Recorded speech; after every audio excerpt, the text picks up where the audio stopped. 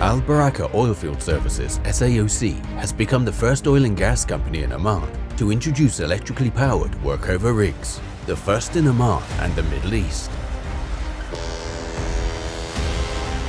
The journey started with the ship from China arriving in Sohar port.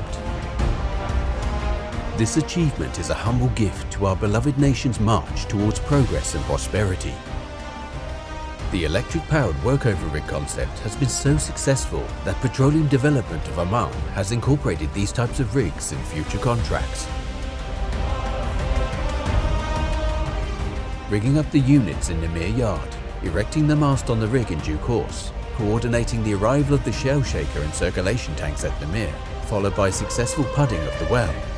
There were hundreds of detailed activities intricately woven into the schedule before successful commissioning could take place.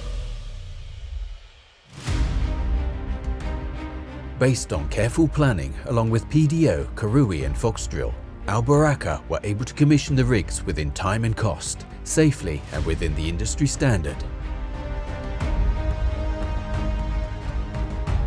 These four new workover rigs will mobilize for Petroleum Development of Oman PDO operations. The advantages of these new rigs are that they are modular, easy to move and have faster turnaround times with improved operational efficiencies.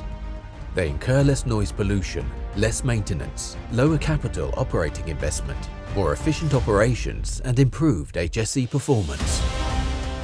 The Al Baraka commissioning team have all worked tirelessly to make this milestone a reality.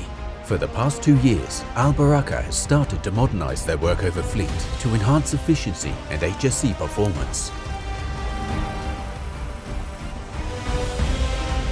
In 19 days, H80 completed the commissioning as recorded under Petroleum Development of Oman standards.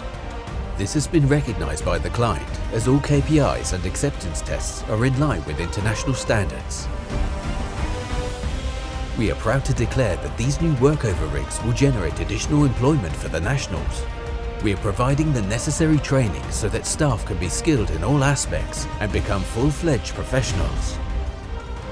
The commissioning of workover rigs H80, H81, H82 and H83 marks a significant landmark in the journey of distinction and has achieved each individual KPI as specified by Petroleum Development of Oman in this pursuit of excellence. Al Baraka Oilfield Services SAOC will continue to push boundaries and set new standards.